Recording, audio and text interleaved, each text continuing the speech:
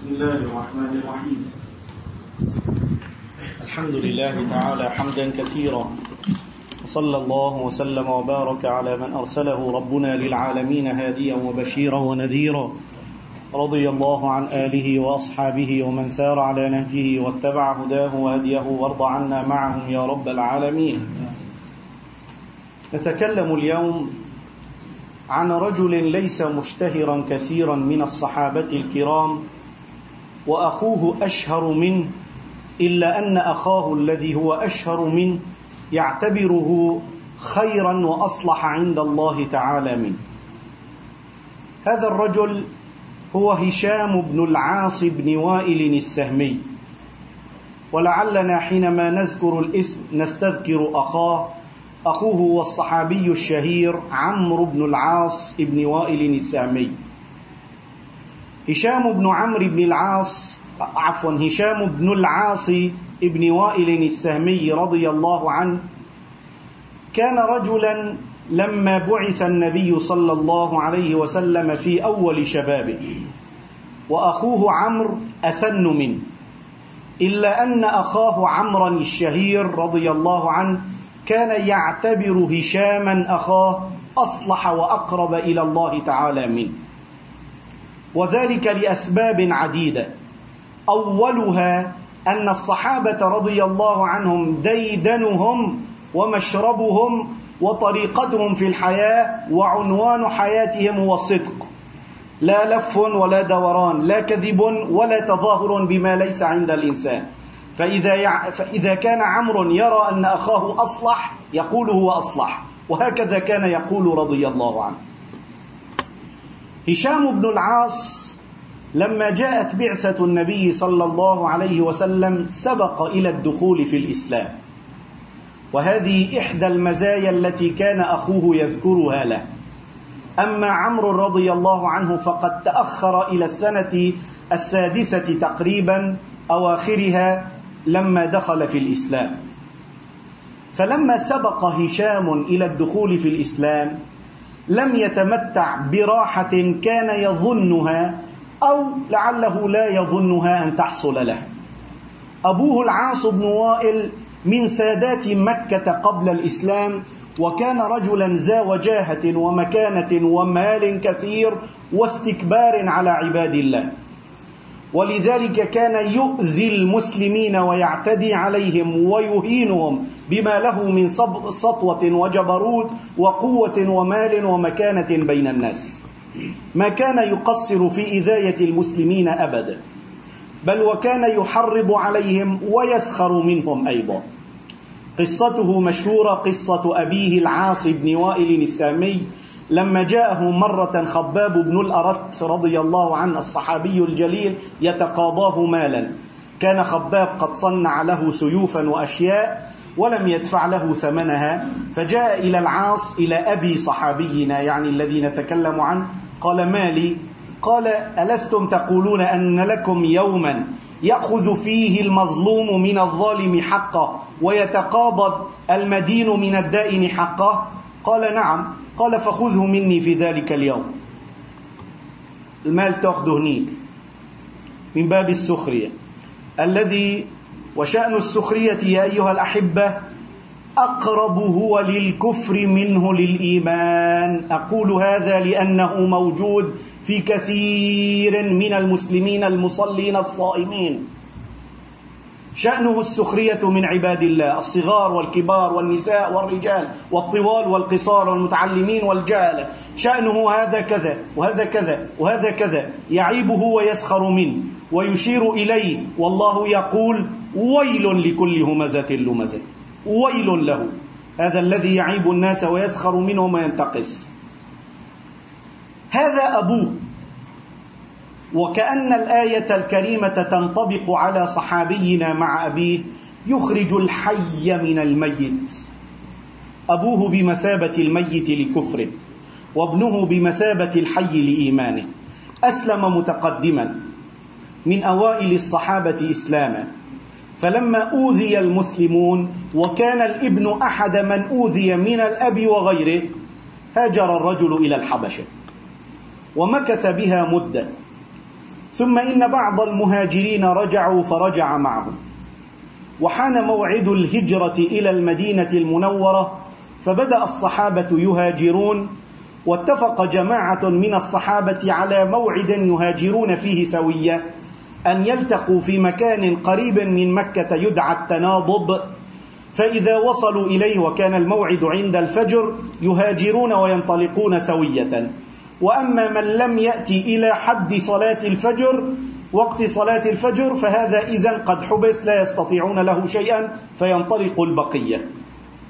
كان الذين اتفقوا على ذلك هم عمر بن الخطاب رضي الله عنه وعياش بن أبي ربيعة رضي الله عنه وصحابينا اليوم هشام بن العاص رضي الله عنه. استطاع عمر وعياش بن أبي ربيعة أن يصلوا إلى هذا المكان انتظروا صاحبهم وصح وصحابينا اليوم فلم يستطع المجيء فانطلقاهم وحبسه. ما الذي جرى له؟ حبسه أبوه العاص بن وائل وبعض أقاربه فقيدوه وأدخلوه إلى بيت وجعلوا يهينونه ويسيئون إليه. تخرج من بيننا تتركنا إلى دين صاحبك وهكذا فيهينونه بالكلام ويؤذونه بالتصرفات. ومنعوه من الهجرة إلى المدينة. صاحباه تمت لهما الهجرة وهما عمر رضي الله عنه ابن الخطاب وعياش بن أبي ربيعة رضي الله عنه. ويشاء الله بعد ذلك أن تحدث حادثة فيعود عياش إلى مكة ويقبض عليه ويوضع أيضا اسيرا ممنوعا من الهجرة بعد أن هاجر ووصل إلى المدينة تقريبا. في قصة حكيتها لما حكيت قصة عياش. وحبس جماعة من المسلمين أيضا كما حبس صحابينا هشام بن العاص وكما حبس عياش وغيره من جملة من حبس أيضا ومنع من الهجرة الوليد بن الوليد وقد ترجمت له أيضا سابقا وهو أيضا أخو صحابي جليل وأخوه أشهر منه بكثير. من أخوه؟ خالد. الوليد بن الوليد أحد الذين حبسوا بمكة. أسلم الرجل قديما وحبس بمكة في قصة طويلة حكيتها أيضا فيما سبق ثم استطاع أن يلحق بالمسلمين. ويمكث المسلمون وهم يعرفون ما يجري لمن حبس بمكة ومنع من الوصول إلى المدينة من إساءة وتعذيب وإهانة حتى أن النبي صلى الله عليه وسلم صار يدعو لهؤلاء المحبوسين بمكة في قنوت صلاة الفجر. حتى صار يذكر أسماء بعضهم في الصلاة. في الصلاة في, في القنوت بأسمائهم يصرح. فيقول اللهم أنجي الوليد بن الوليد وعياش بن أبي ربيعة وسلمة بن هشام. يعدد أسماء بالأسماء. قلنا الوليد استطاع أن يفر ويهرب ويصل إلى المدينة ومكث ويسمع هذا الكلام النبوي. الدعاء لهم بالإنقاذ أن ينقذهم الله تعالى. وتمر الأيام ثم يقول رسول الله لبعض أصحابه من لي بالوليد بن الوليد وهشام بن العاص؟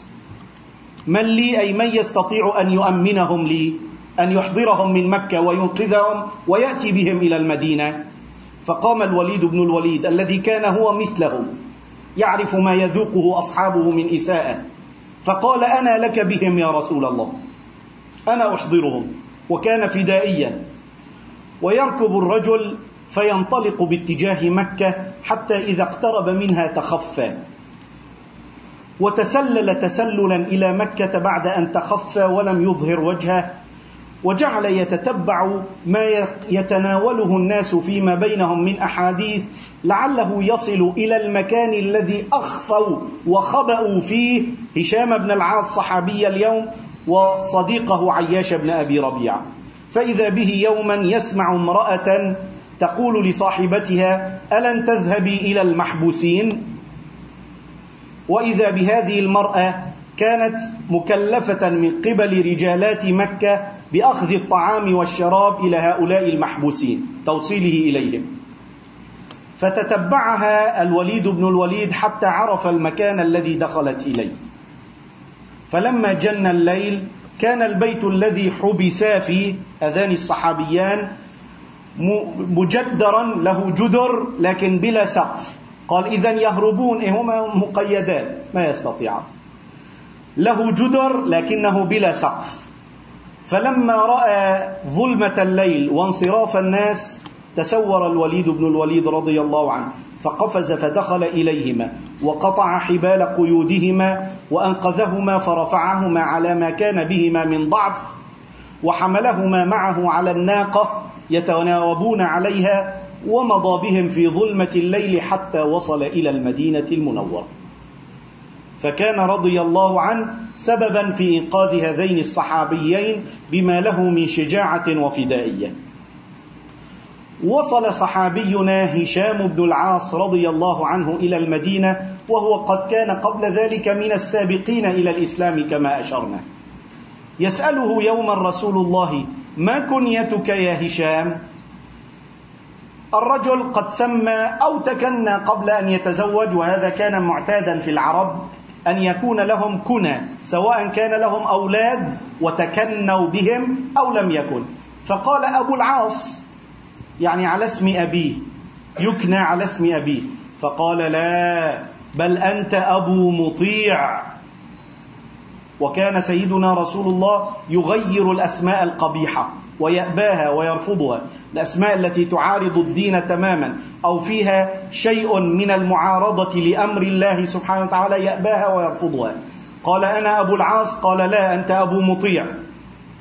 فمن يومها لقب أو كني سيدنا هشام رضي الله عنه بأبي مطيع.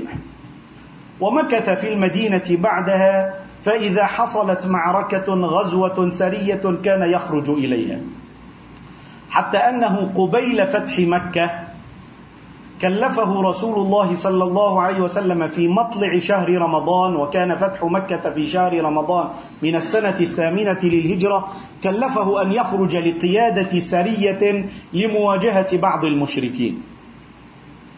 فلما انفتح الله تعالى مكة وانتصر المسلمون وكثر المسلمون ودخل الناس في دين الله أفواجا كما حكى لنا ربنا في كتابه كان بعض الصحابة يوما جالسين قريبا من المسجد عند حجر رسول الله صلى الله عليه وسلم يتكلمون ويتناقشون ويذكرون بعض آيات القرآن العظيم. يحكي هشام رضي الله عنه أنه كان حينها هو وأخوه عمرو بن العاص كانا جالسين قريبا من هؤلاء القوم الذين يتكلمون في القرآن العظيم. قال عن ماذا يتكلمون؟ يحاولون أن يقرأوا بعض الآيات وينظرون إلى بعض الآيات فيشتبهون في معناها لم يفهموا معناها حقيقة. فيقول بعضهم هذه معناها كذا يقول الثاني لا هذه معناها كذا يقول الثالث لا هذه معناها كذا. هشام بن العاص وأخوه عمرو رضي الله عنه يرون هذا المشهد ابتعدوا عنه. وهذا حال المؤمن المسلم الحق. قال هشام ثم خرج إلينا رسول الله صلى الله عليه وسلم مغضبا. فقال من هؤلاء الذين يضربون القرآن بعضه ببعض؟ وين هدول فنظر إليهم مغضبا. ثم قال إنما أهلك من كان قبلكم أنه كان أنهم كانوا يضربون كتبهم وما أنزل الله عليهم بعضه ببعض. قال إيش معنى يضربون؟ باختصار شديد كما أشرنا منذ قليل. هذا يقول معناها كذا وهذا يقول معناها كذا. أنت من أصحاب معناها؟ أنت عندك هذا العلم الجم لتفسر وتفهم؟ عندك حي هلا ما عندك؟ كل واحد على كيفه يعني يفسر. كما حكيت مرارا في قضية من ظهر في عصرنا ممن يسمون بالدعاة الجدد. كل واحد واحد يفسر عبر تفسير فيزيائي والثاني كيميائي والثاني هندسي والثاني الرابع فلكي والخامس ما أدري إيش. وكل واحد يخطئ كل من سبقه وكل الناس لا تفهم ولم يفهموا معاني القرآن غير أنا. وأنا الذي بززت الناس. قال إيش بززت؟ يعني سبقتهم وضعتهم خلفي بمراحل وهكذا. فالرسول صلى الله عليه وسلم لما رأى بعض الصحابة طبعا ما قصدهم شر ولكن رغم ذلك هم يتناقشون وقد لا يعرفون المطلوب والمقصود فنهاهم نهيا شديدا. قال هذا الذي أهلك الذين من قبلكم. يقول ثم التفت إلي أنا وأخي. هما ما كان معهم بل اعتزلاهم فنظر إلينا. قال هشام فحمدت الله أن ما كنت معهم. بسطت كثير ما كنت معهم وإلا غضب علينا. فحمدت الله أن ما كنت معهم. تمر الأيام ويتوفى الله سبحانه وتعالى نبيه صلى الله عليه وسلم أن يقبضه إليه. ويبدأ جهاد المسلمين في المرحلة التالية في زمان الخلفاء الراشدين لفتح البلاد وإيصال نور الحق والإسلام إليها. وينتقل المسلمون شرقا وغربا. شرقا إلى جهة العراق وغربا وشمالا باتجاه بلاد الشام ليفتحوا هذه البلاد ويوصلوا إليها نور الهداية ومعالم الخير وطريق الحق الذي هداهم الله تعالى إليه ألا وهو الإسلام. وينطلق هشام رضي الله عنه بن العاص وينطلق أخوه عمرو أيضا إلى تلك البلاد. وذلك في أوائل خلافة أبي بكر رضي الله عنه. فيشتركون في فتوحات بلاد الشام. يحدث يجلس يوما بعض الصحابة وبعض الناس يتحدثون وذلك بعد مدة طويلة من الوفاة النبوية وكذلك بعد مدة من وفاة هشام صحابينا اليوم. وكان ممن يجلس معهم أخوه عمرو بن العاص. فيسألون بعضهم من خير؟ عمرو أم هشام الجالسون. كلاهما صحابيان. عمرو خير أم هشام خير؟ قدمت منذ أول الكلام أن عمرا يقر أن أخاه هشام خير منه. فسمعهم عمرو رضي الله عنه. فقال لهم بل أخي هشام خير مني. عمرو بن العاص أسن منه أكبر منه سنا وهشام أصغر منه سنا. لكن هشام سيقول عمرو سبقني إلى الإسلام. وسبقني إلى الهجرة. وكنت معه يوم اليرموك. معركة اليرموك الشهيرة. هذه الرواية الأولى يا أيها الأحبة بهذه السياقة وسنأتي على رواية أخرى كي لا يظن الناس أن بينهما تعارضا. سنأتي على مهل. يقول عمرو سبقني للإسلام. سبقني إلى الهجرة. وكنا معا يوم اليرموك. فجعل الناس يدعون ربهم أن يرزقهم الشهادة. قبيل المعركة يرفع الناس أيديهم يا رب ارزقني الشهادة في سبيلك. قال فلما دخلنا المعركة وخرجنا منها رزقها أخي وحرمتها. هو استشهد وأنا بقيت حيا. فهذه أيضا يعتبرها عمرو مزية لأخيه بأن يسبقه إلى العمل الصالح ويستشهد وأن يستجاب دعاؤه بالشهادة لنفسه أيضا. هذه الرواية الأولى. الرواية الثانية تقول إن هشاما رضي الله عنه لم يستشهد في معركة اليرموك وإنما بعدها. ولعل هذه الرواية الثانية التي سنأتي عليها أقوى. الرواية الثانية تقول إنه بقي حيا بعد معركة اليرموك إلى معركة أخرى عظيمة من معارك فتوح بلاد الشام تسمى أجنادين وأجنادين منطقة قريبة من فلسطين. نعم قال في هذه المعركة وهذه الرواية أشرت هي أقوى والله أعلم. تجمع المسلمون وتجمع الروم وكانت المعركة شديدة.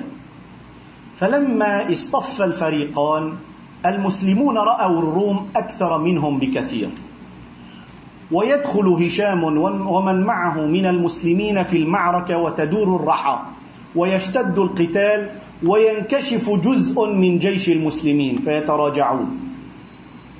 وكان هشام رضي الله عنه متلثما فكشف اللثام عن وجهه. وقال يا أيها الناس أمن الجنة تفرون؟ أنا هشام بن العاص. في مثل هذه المواطن يحسن للإنسان أن يظهر شجاعته. في غير مواضع أخفي كل عملك. لا تقل لا أنا شجاع ولا قوي ولا منفق ولا مصلي ولا صائم.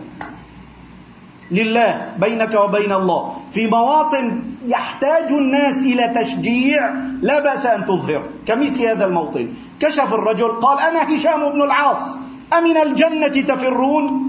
وينطلق الرجل ويصيح في الناس ويرونه فيخترق صفوف الروم ويدخل فيهم يقاتل يمينا ويسارا أماما وخلفا لا يدع مجالا لأحد إلا وينصب عليه كالسهم المشار المطلق السريع. ثم في نهاية الأمر يستشهد الرجل. شهادته كانت بحادثة عجيبة. حكاها الحافظ ابن حجر رحمه الله تعالى في كتابه الجميل العظيم الإصابة في تمييز الصحابة. فقال ويذكر أنه كان يقاتل في معركة أجنادين قال وكان بين جيش المسلمين والروم ثلمة قاتل عليها الروم قتالا شديدا يعني فتحة ضيقة. فلما تراجع الروم لحقهم المسلمون. ولكن هذا المدخل هذه الثلمة الفتحة الضيقة كانت تمنع المسلمين من الدخول إليها إلا رجلا رجلا. وإذا دخل وحده سيستفرد به الروم. وليس هناك شيء يمرون عليها لأنها كانت أشبه بالحفرة. ويقدر الله تعالى أن تكون شهادة هشام بن العاص رضي الله تعالى عنه أن تكون شهادته عند هذه الثلمة. فلما قاتل استشهد فسقط عند الثلمة فسدها بجسده. وقع جسمه في هذا المكان فسدت الفتحة.